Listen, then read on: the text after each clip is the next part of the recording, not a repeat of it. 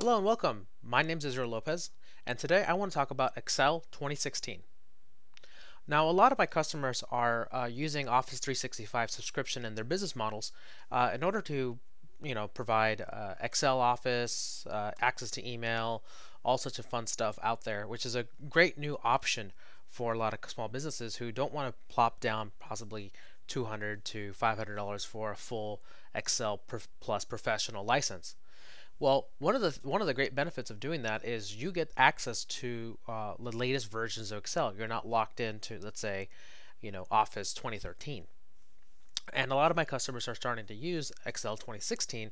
Uh, I believe it was released uh, earlier this month, uh, December or November.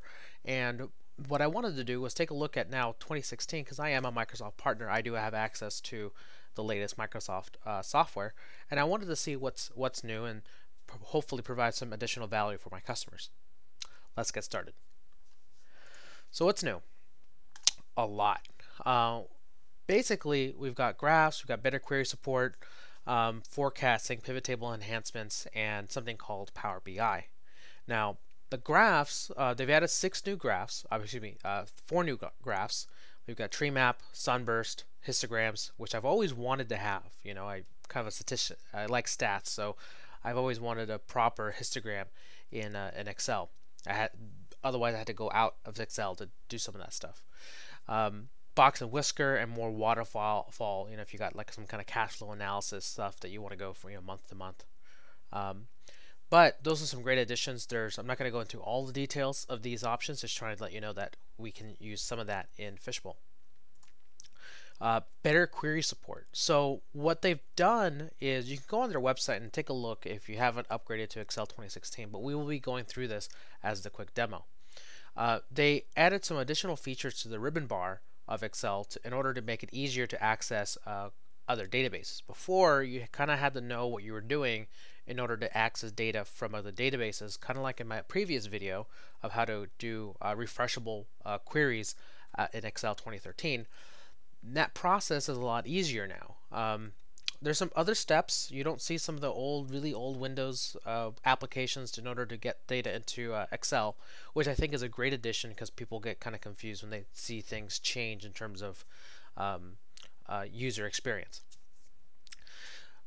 Forecasting. Now, this is pretty interesting. Um, before, uh, forecasting was uh, limited at best, right? Um, you you would have to then just basically say there's an average and then we're going to put the average out for a couple of months and that's what that is.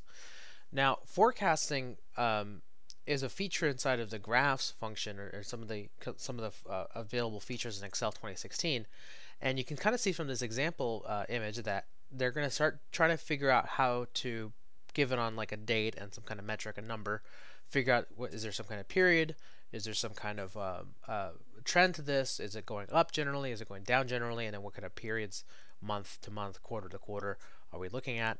And it applies that information to a graph saying, I want to forecast out the next year, possibly.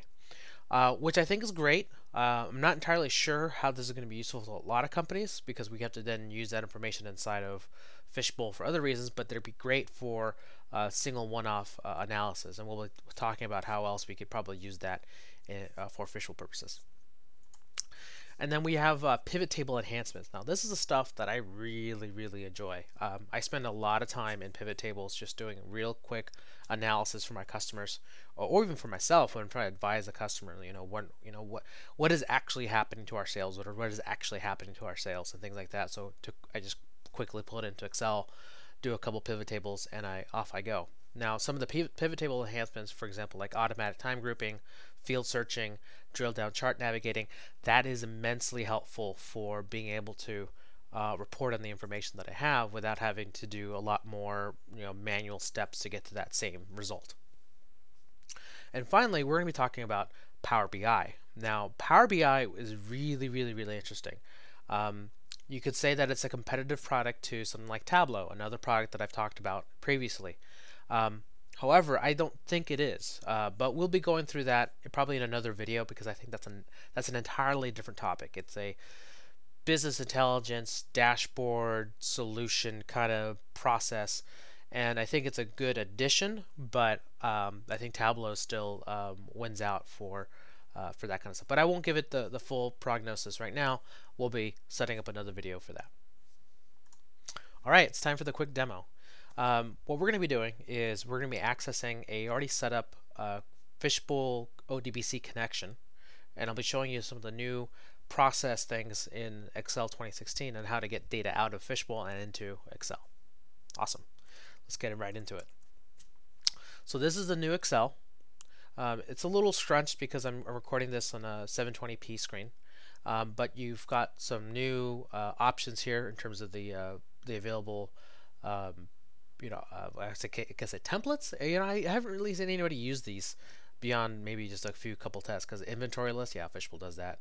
Calendar, yeah, Fishbowl does that to do yeah anyway so it doesn't matter but you've got some new things to take a look at maybe draw some inspiration from and you've got some additional searches here on their online templates really trying to tell people how to use excel effectively what we're going to do is uh, we're going to open a blank uh, workbook and this is it we've got all the same familiar stuff up at the top here I know some of the UI's changed there's a share button here now kind of maybe what you're used to in uh, iOS or Android um, if you have the Office 365 account, you can sign in, and know, same same kind of ribbon bars. But what's new is we've got a new File button here, which hasn't been there before.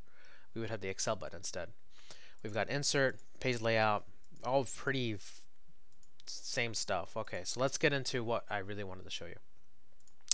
Data. So the data options you can get from other sources. Actually, where we go home. Where was this? Ah, there it is. New query. Excuse me. I get confused sometimes. So this is what really I wanted to show you. Um, we've got uh, the traditional access to Microsoft SQL Server databases. We've got uh, Microsoft Access, you know, the desktop little database thing. SQL Server, Oracle, IBM, MySQL, Postgres, Sybase, which is what QuickBooks is, and uh, Teradata. Now, a lot of this stuff mm, our clients, our world isn't going to use. Maybe Sybase if you're trying to connect to uh, QuickBooks. Uh, but I would really love to see Firebird in here because that's the database engine that uh, Fishbowl will be using. Uh, for the now foreseeable future, I don't know if Fishbowl is ever going to change to MySQL or Postgres or Microsoft SQL. Anyway, point is, um, but that doesn't mean that because we can't use these options, we can't get some data into uh, Excel. What we're going to do is go from new query from other sources from ODBC. We're going to click that button and it's going to prompt us this nice, really kind of simple uh, dialog window indicating, okay, let's let's get started. Boom, we need a connection string. Oh boy. So the the easiest process for this is to set up ODBC. Uh, I am still planning on doing some kind of automatic ODBC connection tool that just you know sets everything up for you in three steps because right now it's like 10 not that bad but I I think I have another video for that. Um, anyway so for now I've already set up my DSN you can also use the instructions from Fishbowl's website to set this up. I'll set that up as a link here in the video. Um, but all I have to do is do type in DSN equals and Fishbowl and then my SQL statement so I will do select star from SO and I'm connected to the Bicycles Unlimited database let that process. And drag the other window over here. And boom, I'm pretty much done. So before in Excel 2013, there was a query editor that looked really, really old. Like I was thinking that, well, this is coming back from, you know, Windows 3.1. But they've really freshened this up now. So we've got this query editor. Uh, we've got, we can remove options, we can remove columns, keep keep, remove rows, remove duplicates, a lot of kind of cleanup stuff in here. I'm not going to get into that. That actually could be another video on its own. But what I'm going to do is click on close and load. What that does, it loads that data into uh, Excel for us to then start working as uh, working on as a new sheet. And you can see that if you review the other video, uh, the process is a lot easier. I think we were able to do this in about three steps. Um, the previous video, we had to do probably about four or five steps to get this done. So definitely an improvement. Uh, the same features and functionality for refresh is available. We just hit the refresh button and it's all working. This is all fishbowl order data uh, from uh, the bicycles database, but it all works really, really well. And we can do the same thing. We can do insert. Uh, we do. I think we can do query design. Is there pivot table? Summarize with pivot table. That's exactly what I wanted. So we tell it query one, and we can start using. I'm gonna close this to give give us some more options, and we're gonna do maybe uh, date. Let's find some dates here. Date. Date for ship. Ah, automatic. That's awesome. And then maybe date completed. Hmm, not automatic. Not yet, at least. Oh, actually, it is. Excuse me. So we can do 2015 orders.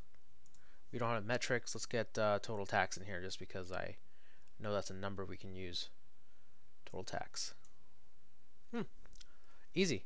So you can start seeing how the power of Excel 2016 can really improve the speed of analysis, kind of you know play, research, and if it's you already have Office 365, it's already included. You don't have to go out and uh, get this and buy this yourself, unless you're a, a different type of organization where you have uh, the Excel volume licensing, or even then you probably have um, the uh, what's called uh, the software assurance for a number of years to include that when new versions come out. But anyway, I hope you've enjoyed this video and you will consider Excel 2016. We'll be having more videos on things like Microsoft Project and uh, other additional features of Excel, and we'll be coming out with some new products coming uh, 2016. Thanks and have a good day.